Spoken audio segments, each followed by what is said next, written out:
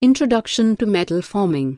We learned in earlier topic, metal cutting is one of the manufacturing process to get to the desired state of shape, size and geometry of a part or product by metal removing.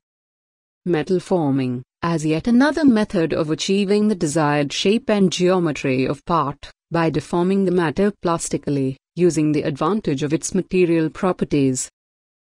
Metal forming is generally classified as bulk deformation such as forging, extrusion, rolling, wire drawing etc.